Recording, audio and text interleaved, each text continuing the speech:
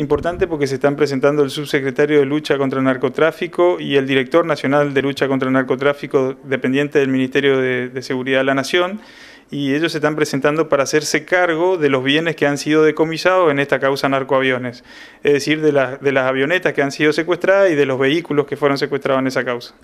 ¿Qué se va a hacer finalmente con ellos? Y bueno, ellos están haciéndose cargo en el tribunal y ya directamente se van a Santo Tomé, donde están depositados los mismos, y bueno, y van a ser utilizados obviamente por la Fuerza de Seguridad para brindar mayor seguridad a la comunidad.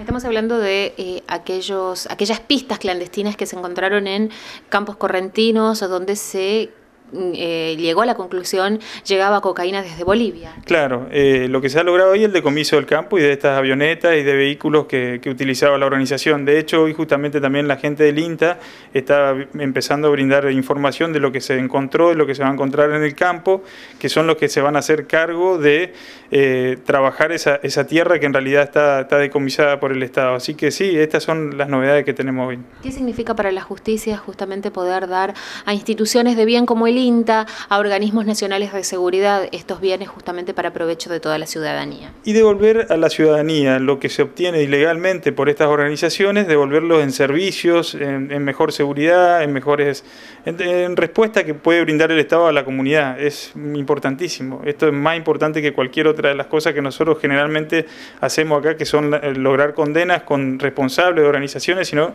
devolverle estos bienes a la gente. Para volver a ver 9 Link, el archivo de la tele. Suscríbete ya en YouTube.